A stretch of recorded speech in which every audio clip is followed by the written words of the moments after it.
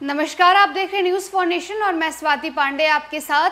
2024 में लोकसभा चुनाव है और इस चुनाव को महज कुछ महीने ही शेष है। ऐसे में तमाम पॉलिटिकल पार्टियाँ तमाम राजनीतिक दल अपने अपने स्तर पर तैयारियों में लगी हुई है। लगातार प्रचार प्रसार हो रहा है, इतना ही नहीं, अपने अपने कार्यकर्ताओं को प्रशिक्षित करने का भी कार्य हो रहा है।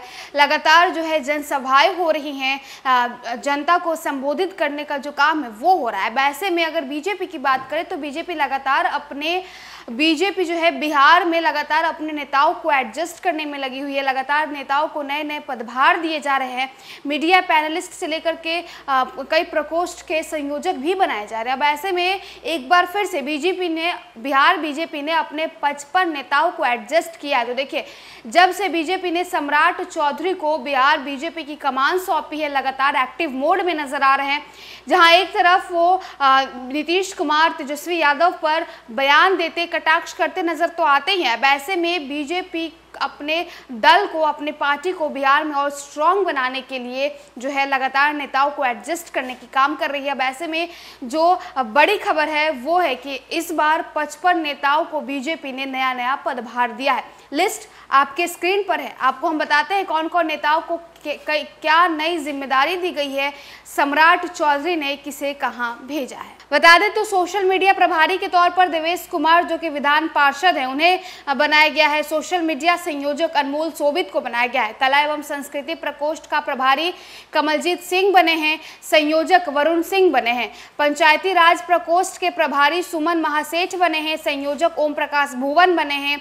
सह संयोजक की बात करें तो पंचायती राज प्रकोष्ठ में तीन सह संयोजक है, जिसमें विनोद कुशवाहा, अनुग्रह नारायण और राजन मिश्रा का नाम शामिल है। लघु उद्योग प्रकोष्ठ में प्रभारी सबूनाथ केशरी को बनाया गया है। संयोजक मंकेश्वर सिंह को सह संयोजक इसमें दो हैं, जिसमें रितेश रंजन और श्याम सुंदर भीम सरिया को बनाया गया है। क्रीड़ा प्रकोष्ठ के में प्रभारी अभय सिंह को बनाया गया है। संयोजक सतीश राजू बने हैं। इसमें भी दो सह संयोजक है, जिसमें बबन कुमार झा और राजेश शेखर का नाम शामिल है। सहकारिता प्रकोष्ठ में के जो प्रभारी हैं, वो विशाल सिंह को बनाया गया है। संयोजक मनोज सिंह, जो कि पूर्व विधान विधान पार्षद रह चुके हैं।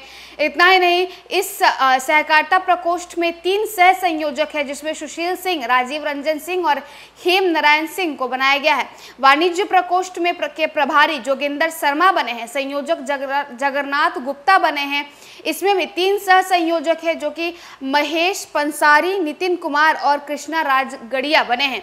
बुनकर प्रकोष्ठ के प्रभारी दीपक पटवा को बनाया गया है संयोजक संजीव पटवा को बनाया गया है सह संयोजक उदय ताती को बनाया गया है। नगर निकाय प्रकोष्ठ का प्रभारी श्रीमती बेबी चंकी को बनाया गया है।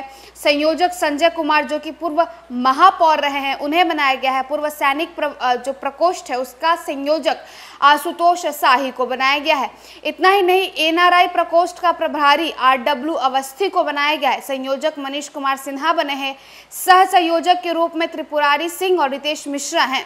इतना ही नहीं, बुद्धिजीवी प्रकोष्ठ का प्रभारी दयानंद कुमार, जो कि आईपीएस हैं, उन्हें बनाया गया है।